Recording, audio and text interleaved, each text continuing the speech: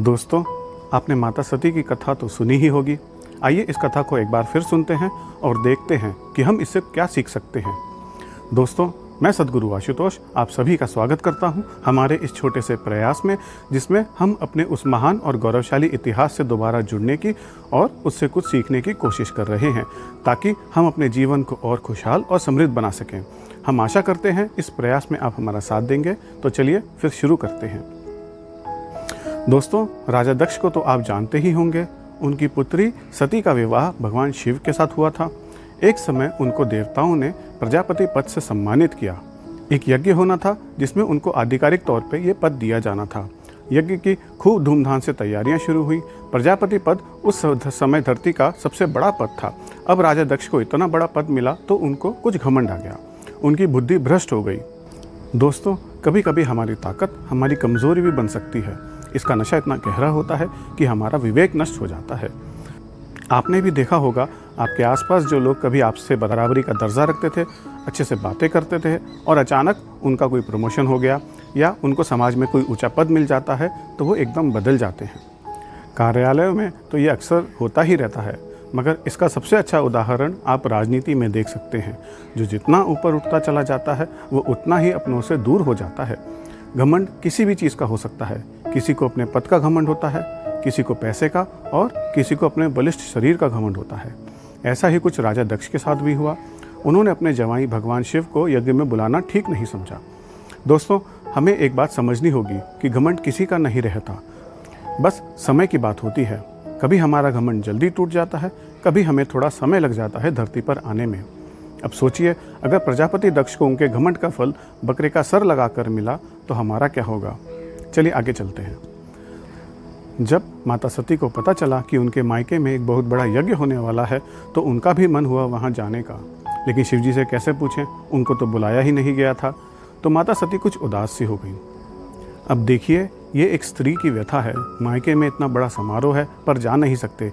अगर ऐसे में थोड़ा संयम रखा जाए और मिलजुल कर ही कुछ सोचा जाए तो माता सती के जैसे भाग्य से बचा जा सकता है। घर की महिलाओं को भी ये समझना चाहिए कि अगर मायके से बुलावा नहीं आया है तो वहाँ नहीं जाने में ही भलाई है। चलो, अब शिवजी तो सब जानते ही थे, फिर भी उन्होंने माता सती से पूछा कि आप इतनी परेशान क्यों हैं? अब सवाल ये आता है कि अगर भगवान शिव सब जानते ही थे तो उन्होंने माता सती से सवाल पूछा ही क्यों? दोस्तों कभी कभी हम सामने वाले के मुँह से ही वो बात निकलवाना चाहते हैं, ताकि बोलने वाले को खुद एहसास हो कि वो जो मांग रहा है, क्या वो सही है? हमारी आत्म जागरूकता खुद ही हमें बताना चाहती है कि हम गलत मांग रहे हैं।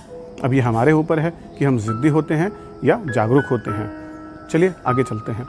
माता सती ने उन्हें बताया कि उनके मायके में एक यज्ञ होने जा रहा है और वो भी उसमें भाग लेना चाहती हैं। भगवान शिव ने उन्हें बहुत समझाया कि जहाँ बुलाया नहीं गया हो, वहाँ जाना नहीं चाहिए। ऐसी जगह जाने से आत्मसम्मान नष्ट होता है, आत्मगौरव नष्ट होता है, वहाँ प्रेम नहीं मिलता। जहाँ हमारी विरोधी भावना हो, वहाँ जाने से हमारा नैतिक पतन होता है, हमारा नुकसान होता है। लेकिन जब माता सती नहीं मानी तो भगवान शिव ने उन्हें जाने की आज्ञा दे दी। शिव जी ने देखा कि मेरी बातों का उन पर कुछ असर तो हो नहीं रहा है तो माता सती को उन्होंने अनुभव से ही सीखने का मौका दिया। हमारे साथ भी ऐसा अक्सर होता है, जब हमारे करीबी कुछ गलत मांग करते हैं और हमारे समझाने पर भी नहीं समझते। ऐसे में हमें उन्हें ठोकर खाकर सीखने का मौका देना चाहिए।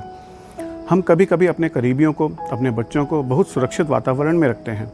उनकी हर बात मानते हैं। हमें ऐसा नहीं करना चाहिए। अगर कोई गलत बात करता है तो हमें उसे सीख देनी चाहिए।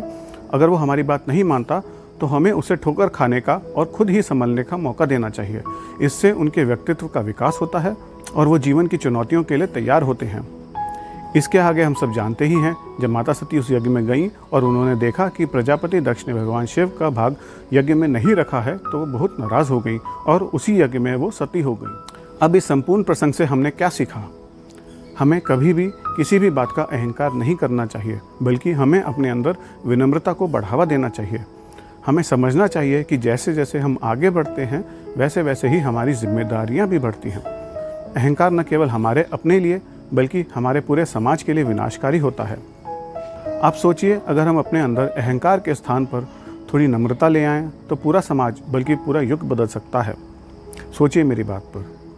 दूसरी बात हमने यह समझी कि जहाँ हमें नहीं बुलाया गया हो, वहाँ कभी भी नहीं जाना चाहिए। ऐसी जगह जाकर हम समाज में सम्मान खो देते हैं।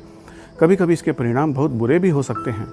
हमें अपनी भावनाओं पर नियंत्रण करना चाहिए जिद तो कभी करनी ही नहीं चाहिए।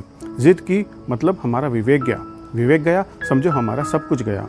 हमें अपने शुभ चिंतकों की बात माननी चाहिए और हमें अपने करीबियों को भी कुछ गलत कदम उठाने से रोकना चाहिए। आज एक ज़रूरी बात हमने यह भी सीखी कि हमें अपने प्रियजनों के, अपने बच्चों के आसपास बहुत सुरक्षित वातावरण नहीं बनाना चाहिए। इससे वो मुश्किलों से लड़ना नहीं सीख पाते हैं। कभी कभी उन्हें ठोकर खा के सीखने का मौका देना चाहिए। अगर आपको हमारे वीडियोस अच्छे लगे तो हमें लाइक कीजिए और अपनी नई पीढ़ी को खास तौर से पाँच से दस साल के बच्चों को हमसे ज़रूर जोड़िए, क्योंकि इसी उम्र के संस्कार उनकी सारी ज़िंदगी उनका मार्गदर्शन करेंगे।